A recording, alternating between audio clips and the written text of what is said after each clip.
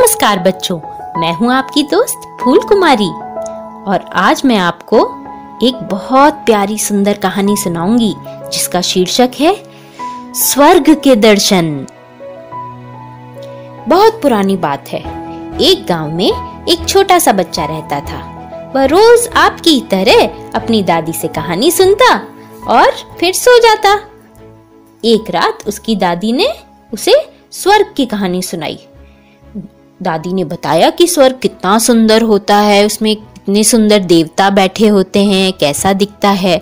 ये सब सुनकर बच्चे को स्वर्ग सच में देखने की इच्छा हुई। यह सोचते सोचते वो सो गया। फिर उसे एक सपना आया और सपने में उसे स्वर्ग के एक देवता मिले। देवता ने उससे पूछा, क्या तुम हमारा स्वर्ग देखना चाहते हो? बच्चा तो बहुत खुश हो गया। खुशी से उछल पड़ा। वो बोला हाँ हाँ महाराज, मुझे स्वर्ग देखने की इच्छा है। क्या तुम स्वर्ग देखने के लिए कुछ भी करोगे? हाँ हाँ महाराज, मैं स्वर्ग देखने के लिए कुछ भी करूँगा। फिर देवता ने बच्चे को एक सोने की डिब्बी दी और डिब्बी देकर क्या कहा? कि इस डिब्बी को अपने पास रखो। जब भी तुम कुछ अच्छा काम करोगे तो डिब्बी में एक सिक्का आ जाएगा। और जब ये डिब्बी भर जाएगी तो तुम्हें मैं स्वर्ग के दर्शन करा दूँगा। बच्चा खुश हो गया, उसने डिब्बी संभाल के रख ली। जब वह सुबह उठा तो उसे अपना सपना याद था। उसने जल्दी से अपने आसपास टटोला तो उसके पास सच में एक सोने की डिब्बी रखी थी। वह खुश हो गया, उसने डिब्बी को अपने कमरे में रखा और अपने स्कूल चले गया। रास्ते में उसे एक भिकारी दिखा।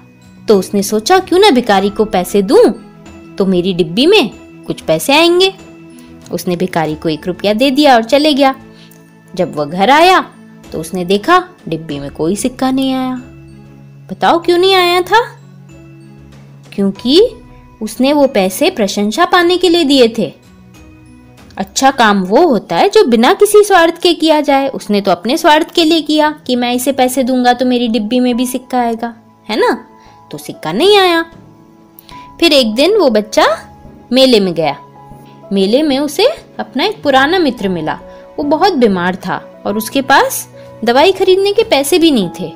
तो उसने जो पैसे आइसक्रीम खाने के लिए घर से लेके आया था, वो उसे दवाई के लिए दे दिए। अब घर जाके देखा तो तो डिब्बी में एक सिक्का आ गया। दूसरे दिन वह अपने उस बीमार दोस्त को साइकिल पे बिठाकर स्कूल भी ले गया। घर पहुँच के देखा तो डिब्बी में फिर एक सिक्का आ गया। कुछ दिन बाद पड़ोस में एक विवाह था, उसने विवाह के काम में खूब बढ़ चढ़ कर हाथ बटाया तो फिर डिब्बी में कुछ सिक्के आ गए।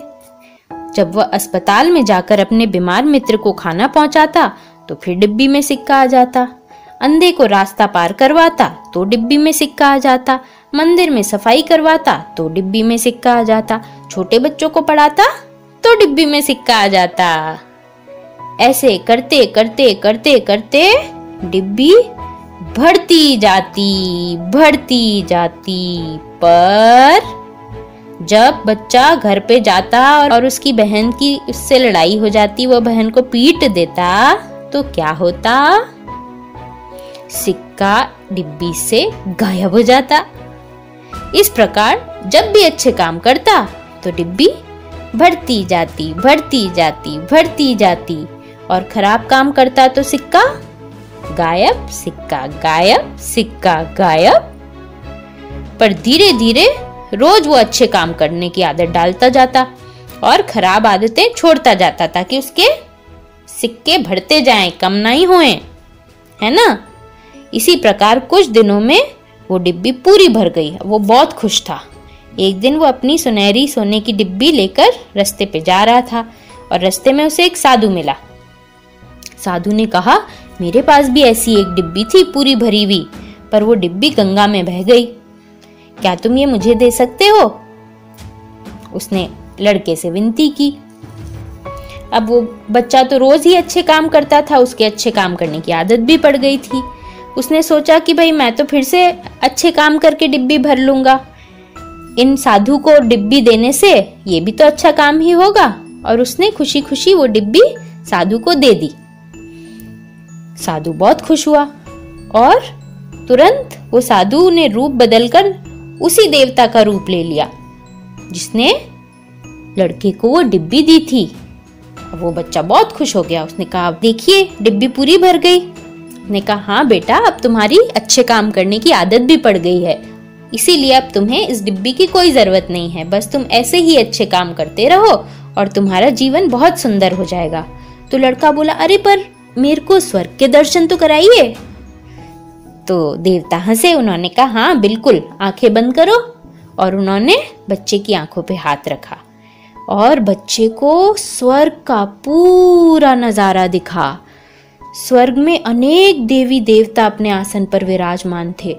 बड़े बड़े महल, सुंदर सड़कें, बगीचे, फूल, पक्षी, तितलियाँ, इतना सुंदर नज़ारा देखकर बच्चा बहुत खुश हुआ। ये बिल्कुल वैसा ही था, जैसा बच्चे की दादी ने उसे कहानी में सुनाया था। बच्चे ने प्रसन्न होकर साधु बने देवता महाराज को प्रणाम किया और अपने घर चला गया। कहानी खत्म। तो बच्चों, क्या सीखा आपने? आप लोगों को भी अपनी अच्छे कर्मों की सुनहरी डिब्बी भरते जाना है भरते जाना है भरते जाना है। बोलो मेरे साथ। भरते जाना है भरते जाना है भरते जाना है। और बुरे कर्मों को छोड़ना है छोड़ना है छोड़ना है। है ना? ठीक है। तो अगली बार मैं फिर मिलूँगी आपसे। आज के लिए इतना ही। चलती हूँ आपकी दोस्त फूल कुमारी जय माँ भारती।